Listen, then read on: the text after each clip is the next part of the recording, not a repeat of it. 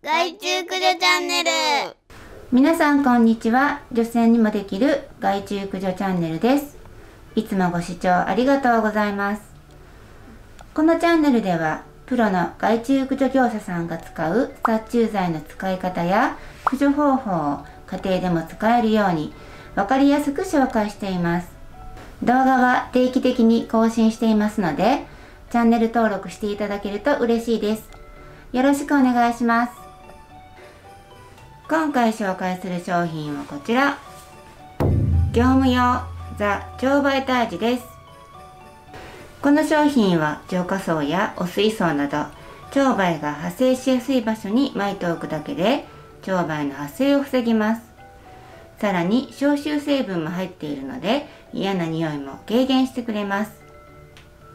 それでは正しい使い方を紹介していきましょう。腸媒の発生場所は汚れていて湿気の多い場所です。トイレタンク内や浄化槽内台所や浴室の排水口などです。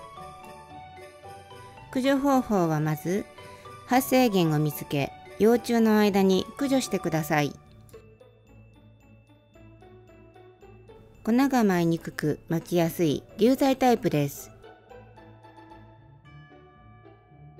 腸媒が最も発生しやすい浄化槽内に散布してください。薄い層や排水口にも散布しておいてください。薬剤は2週間間隔で散布してください。今回この業務用ザ腸媒退治を紹介させてもらいました。腸媒でお困りの方はぜひお試しください。最後までご視聴いただきありがとうございました。このチャンネルではプロが使う駆除用品や駆除方法を分かりやすく紹介しています。動画も定期的に配信しているのでチャンネル登録よろしくお願いいたします。